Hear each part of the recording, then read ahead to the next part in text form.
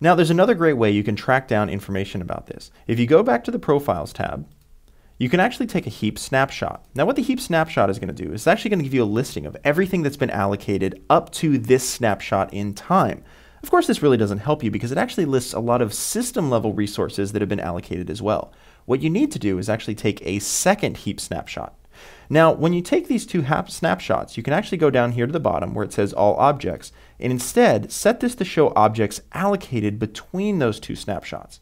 Now, this is going to tell you only the objects that were actually created in memory between clicking that button. Now, if you remember before, we showed that sawtooth pattern inside of the timeline view, which basically told us that memory was being allocated even though I was doing nothing.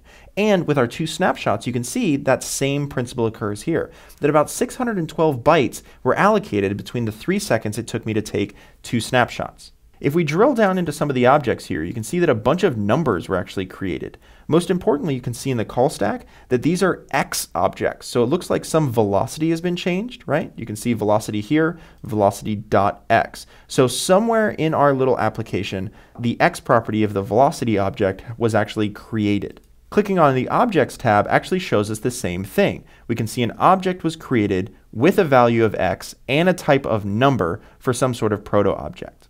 Now, playing around between a heap timeline and heap snapshot gives you an amazing amount of visibility into how memory is being used in your web application. Remember, follow the memory, find your performance problems.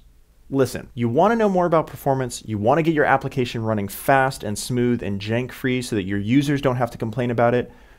Follow the tips I've detailed, and most importantly, follow the Perf Matters hashtag on your favorite social media network. There's a lot of extremely smart people out there all trying to handle these problems in very important ways. Following this hashtag is going to key you in to what they're thinking and how they're solving the problems.